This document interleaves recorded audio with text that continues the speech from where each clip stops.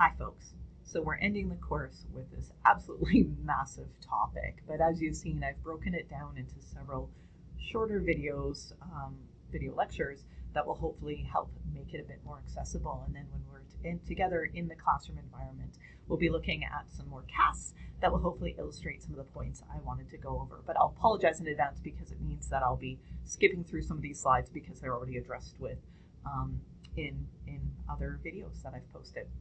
So today we're going to be talking about, in this week to wrap up the term, about the hominins. And so I thought I'd better begin by showing you um, how we're classified and again how we are related to um, and where our shared points of ancestry are with uh, the other living primates, particularly uh, the other great apes. And so you'll see when we refer to uh, hominins, what we're talking about is the tribe that includes uh, not only members of our genus, the genus Homo, but as we'll see in this first video, um, members of the Australopiths and Ardipithecus as well, which are ancestral uh, genera to, to anatomically modern humans. And then in the next video, we'll look at the genus Homo and some of the earliest members, working our way towards uh, anatomical modernity or us.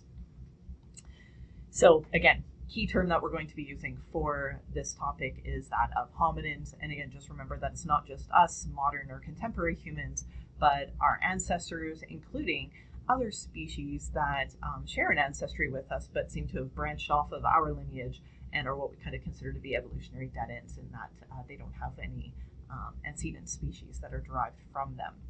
Now, I already mentioned this in the context of primate evolution that we're not exactly um, sure who the earliest hominin is, uh, uh, but I'm going to show you who some of the potential candidates are. And part of the reason why we have this issue is just simply because, as one would expect, uh, the earliest hominin is going to look very ape-like. So the, the question becomes, how ape-like can you be um, and still become classified as a hominin? So what are the traits then that we use to to identify what a hominin is? Well, the main trait that we use are those that are associated with bipedalism. And so I've posted a little video walking you through some of the anatomical traits uh, that uh, are indicators of bipedalism. Uh, and it, this is because habitual bipedalism is something that is unique to us as humans. And so it's one of the things that we've kind of focused in on in order to identify someone as being one of our ancestors. Uh, we also see changes to the face, teeth, and jaws. Again, uh, it's now it's not about just those traits that are specific to primates that have impacted that, but again, those specific adaptations that we have as hominins uh, that reflect the different environments and diets uh, that we are adapting to really big thing, um, again, as I already alluded to in terms of primate evolution, is uh, further increase of that brain size to body size ratio. We refer to this process of the enlarging of the brain as encephalization. Again, we don't go into it in too much into this course, but the key thing to note that it's not just that the brain becomes larger, but key areas of the brain become larger, uh, particularly areas in the frontal cortex. Uh, that are associated with uh, a lot of behavioral uh, that we see in modern humans. So not only the development of language, for example, so we see development of the language centers, uh, but other things relating to symbolic practices, creative thought, etc., etc. Um, and then we start to find in the archaeological record that's associated with these hominins um, really clear signs of cultural behavior, particularly that of the use of tools. So we're going to be looking at stone tools as well as part of this. So um, I have a bit of a review in the notes, and again in the bipedalism video we talk about this, but we've talked about these various patterns of locomotor locomotory behavior uh, that primates use to get around. Uh, and so what we're focusing on for this topic is the uniqueness of habitual bipedalism that's practiced by, or obligate bipedalism that's practiced by humans. So please do review these, and again, it'll be a great opportunity to kind of review some of the various uh, primates as well. So again, we focus in on bipedalism, and again, here's the link to that video, uh, because it is something that is unique to us as, as hominins. And so we have a, a, number of key traits that I would like to focus on. And then the video, I also talk about some of the adaptive advantages that this has, as well as disadvantages or costs uh, that bipedalism has had on us as humans as well. The other background video that I provide relates to this, which is dating techniques. Uh, and so I've provided um, two instructional videos on this one that's a, a, longer piece on dating techniques in general. I'd like you to focus on radiocarbon dating or radiometric techniques and stratigraphy. Um, and so I also have a video relating to stratigraphy and how it works. Um, but one of the key things I just want you to consider is that one of the issues we have with um, hominin evolution is the immense time range, right? Potentially going back to 10 million years ago. Um, not all of our dating techniques, radiocarbon dating for partic- in particular, doesn't allow us to uh, to get back at dates that far. So one of the limitations we have in terms of understanding this early fossil record is how do we date them? And in particular, we can't directly date the fossils in most cases. So we're looking at context, and that's why stratigraphic dating becomes really critical. And again, I posted a little video uh, about stratigraphy and walking you through an exercise relating to it um, that you can take a look at as well. Um, and note that while we don't use radiocarbon dating for the majority of hominin sites, well, we do for those associated with members of our species, um, the principles that it operates under, basically that of radiometric decay or half-life dating, um, is the same uh, for, for many of the methods. So please watch this video where I explain how radiometric decay works, and uh, Olivia provides um, a guest lecture instruction uh, or some demonstration purposes in that video for you folks as well. Okay, but let's get into the meat of things. A couple of quick abbreviations. When I refer to MYA, I mean millions of years ago, KYA, thousands of years ago. So again, we're dealing with quite an immense scale like we saw with primate evolution overall. And then just another note as well that it's not just simply that we're attempting to identify uh, the species uh, that these uh, fossil remains belong to, but uh, there are questions we ask about the individual itself because we do want to get at uh, not only the range of variation that exists, um, but also at what the lived experience of these individuals was, what it was like for, for our earliest ancestors. So, uh, for example, we do sex estimation.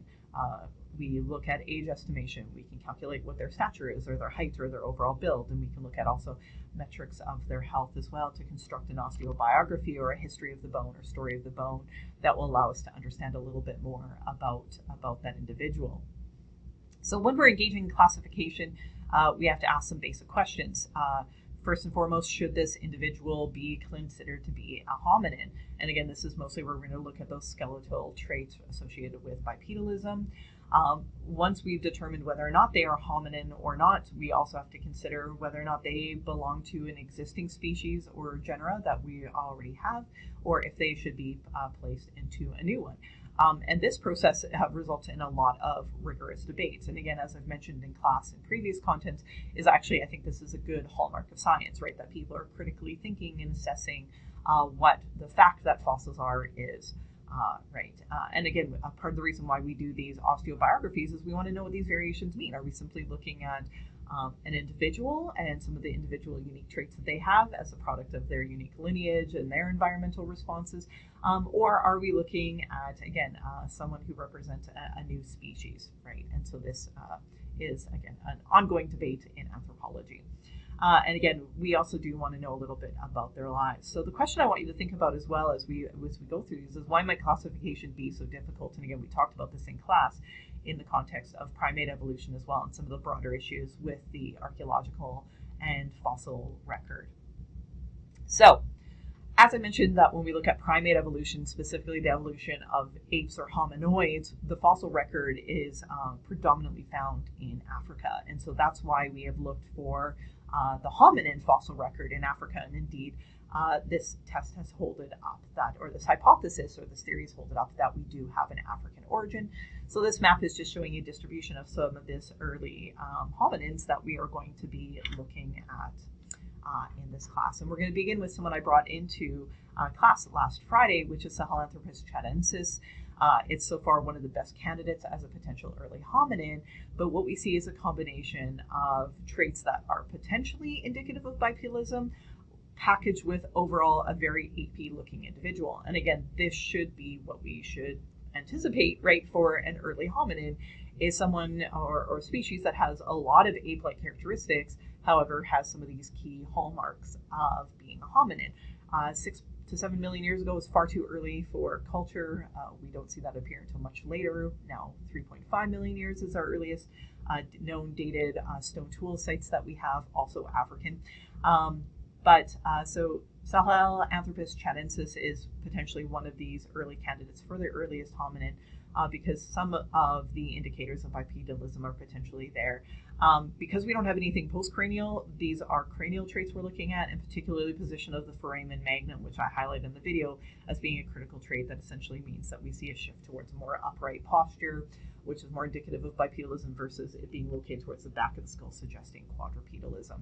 Um, and it's been suggested that this might be potentially our LCA uh, or our last common ancestor with chimpanzees. And, and this is supported by the genetic evidence that suggests that we likely branched off from chimpanzees and share a last common ancestor with them somewhere in between uh, 9 to 5 million years ago. So this uh, fossil fits in perfectly with this understanding.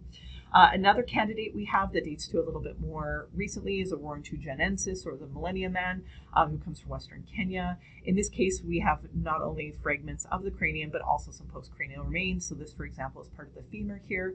So we've been able to look at this postcranial anatomy. Um, and what we see is that, yeah, is that the species has some potential indicators of bipedalism, but also things like really long curved finger bones that are more indicative of brachiation. So uh, a, a, potential candidate as a, of an early hominin, but uh, the jury is still out as to whether or not uh, this individual or the species and genus should be included in um, our understanding. When we get to the genus Ardipithecus, here is where we have pretty conclusive evidence of bipedalism. We have now a couple of sites that have members of this uh, genus represented, um, including the near complete skeleton Ardi, which a couple of years ago was declared to be Time Magazine's like scientific find of the year. Uh, we have some great um, evidence as well um, of their environment. So we've been able to do environmental reconstruction that shows that Ardi was indeed living in an arboreal environment, a wooded environment, but more lightly wooded, so not the kind of dense forest cover. Um, and so this would help explain why we have now a genera where we have a combination of both clearly bipedal traits, but also with some retention of some arboreal or ancestral primitive traits or primate traits, sorry, not primitive traits, primate traits. Um, basically, Ardipithecus has um, traits in the feet, in the knees, in the hips, that, and of course in the cranium that are fairly indicative of bipedalism, but also very, very much ape-like hands. Um, you can see very similar to what we see in chimpanzees, the limb proportions as well, and you can see that massive divergent big toe. So a combination of kind of both uh, quadri- or sorry arboreal traits, but also bipedal traits. And they, really the key things seem to be the hip joint here um, and the knee joint as indicative of bipedalism. So I just wanted to show you um, what uh, the Ardipithecus's foot looks like. Um, there's some great three-dimensional images that have been prepared. And if we look at just the foot, Ardi's foot is definitely much closer to the genus Pan, which is chimpanzees, uh, versus uh, the genus Homo, which is us. So you can see again that very large divergent uh, big toe. Um, however, if oh, I didn't have some other traits. I had some images of the hands, again, also very chimpanzee. And if we look at the hips, um, also uh, that's where we start to see some anatomical changes, shifts suggestive, more suggestive, more indica- indicative of bipedalism. Again, what this is then comparing is potentially Ardipithecus's place in hominoids, so ape evolution. So we have an earlier split between gorillas and chimpanzees. Uh, then we have this shared, again, common last common ancestor or chimpanzee last common ancestor uh, splitting off into uh, the genus Pan or the chimpanzees, and then the genus Ardipithecus. And then uh, Ardipithecus would be one of um, our direct ancestors again, but again, with a lot more retention of those ancestral traits.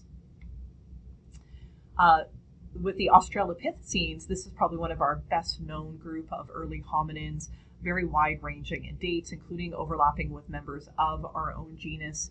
Um, and there's some key traits here that uh, Australopithecus is very clearly bipedal. Again, still have some retention in the upper limbs, particularly in the hands and the shoulder and the arms, that are much more ape-like.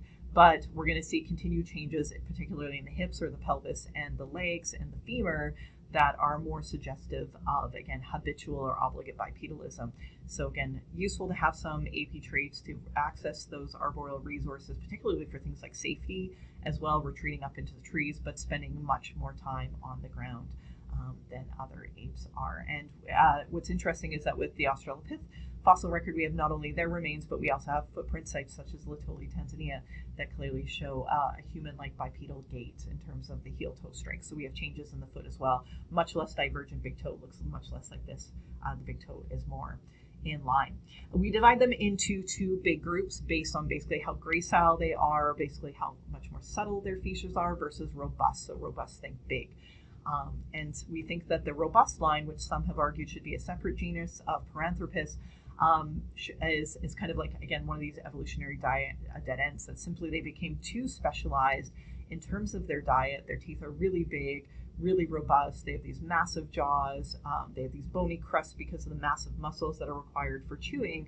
Um, and simply they just kind of didn't persist the same way that the gray gracile once did. And it's likely that one of the members of the gray gracile Australopithecines, one of these species, is directly ancestral to the genus Homo and therefore to us. So in the slides, I provide a, a, bunch of background information. And so the key thing that I want you to look at then is some of the key distinctions between them. And we'll look at some of their fossil skulls um, or casts in our lecture that will allow you to examine some of these traits. So again, our earliest Australopithecus is uh, one of the gracile forms, Anamensis. Um, one of the big things that you'll notice is that there is a distinction between those that come from the east, um, eastern Africa, and those that come from southern Africa. But we go on a, a lot more about that in, in, the implications of that in biological anthropology or 209. So don't worry about that in too much class, but just know. So we have the Australopithecus in 4.2 overlapping with Ardipithecus um, in East Africa, again with a mosaic of these ape-like and hominin-like traits. Afarensis is one of the best known hominins. Several examples, including the very famous, nearly complete Lucy. So we can talk a little bit more about her. Um, and again, one of the key things that we see with Lucy is a very human like um, hip um, joint in particular, suggesting upright posture, bipedal locomotion, uh, but very ape like arm. Uh, we also have not only um, examples of sex individuals, so Lucy's uh, pelvis is indicative of, a female, uh, but we also have uh, specimens like the Dikika child uh, showing uh, development and what children would have looked like and infants would have looked like for this species. And again, when we look at these reproductions, we see that they still look very apy. It's not until we get the genus Homo that they start to look a bit more like us. Um, Afarensis is likely responsible for the Laetoli footprints, uh, where we have basically the walking path of at least uh, two adults and one juvenile. It's been suggested potentially sexual dimorphism because of the foot size of the two footprints, but the juvenile footprint is clearly like that. Um, and again, the uh, heel toe strike, the lack of the divergent or the less divergent big toe, and the gait overall is fairly indicative of bipedalism. So with Australopithecines, uh, we're pretty confident that bipedalism is present. Uh, another gracile uh, form, one of the actual first uh, members of Australopithecus ever to be recovered, is that of Africanus that comes from South Africa, several sites in the region. Uh, one of the differences between Africanus and some of the other Australopiths is that its dentition is much more human-like, so very small. Um, one of the potential candidates uh, for a direct descendant of the genus Homo is Sediba. Um, Sediba is not as well known as some of the other gracile Australopithecines because it's a fairly new uh, fossil find uh, recovered in the last 10 years. Here, um, again, it's been argued it potentially is a descendant of Africanus, again, another South African species, uh, but again, has much more uh, human like characteristics, particularly if you look at the face, it's starting to look a lot less ape like. Um, seeing a greater reduction even in the face, because with smaller teeth, we get a smaller uh, jaw, so we don't have that kind of projecting or what we call prognathic face. Instead, we have more of an upright face. Um, and then what's going to happen with the genus Homo is we're going to start seeing expansion of the cranial vault to uh, incorporate that larger brain size. The rest of the Australopithecines are fairly fragmentary. So, for example, in Chad, we have Bahr-Ghazali, uh, which is, again, one of the first hominins found outside of the East African Rift Valley. We also have Sahelanthropus, again, questionable whether that's a hominin or not, and we simply have this partial fragmentary jaw. So it's amazing what we can tell from just a couple of teeth. Uh, we have Garhi as well. Again, it's very similar to some of the other Australopithecines, but it's definitely not. So again, how similar does something have to be before we can branch it off and say it's a separate species? Uh, again, is this reflecting just a range of variation within Australopithecus, uh, a very specific regional adaptation? These are the questions we're attempting to answer. Then we get into the robust Australopithecines. Again, what you can see here that's really characteristic of them are these uh, crests or these bony ridges. Uh, crests or ridges and bone represent muscle attachment areas. So we have really thick muscles that are attaching to the top of the skull here, uh, reflecting these massive teeth that they have. Ethiopicus um, is probably the most hyper robust. Uh, and again, you'll see this cast, the specific cast in the skull, really, really just giant teeth, producing a very dish-shaped face and massive prognathism to accommodate them. Uh, Boisei is another example. Again, here you can see the reconstructed jaw, just massive jaws, massive teeth. Uh, again, this is suggesting an adaptation to eating things like hard nuts and tubers um, versus other Australopiths probably were having a more generalized diet um, as reflected by their more generalized dentition. Uh, interesting, we see with some of the Australopiths, the robust ones in particular, is very pronounced sexual dimorphism. So again, the males are significantly larger than the females in body size, and and this is again a, mu- a much more ancestral pattern for primates than it is for um, anatomically modern humans. Our degree of sexual dimorphism is like 10% difference between males and females, so very minor compared to uh, to other primates, other living primates, and other sexually dimorphic species.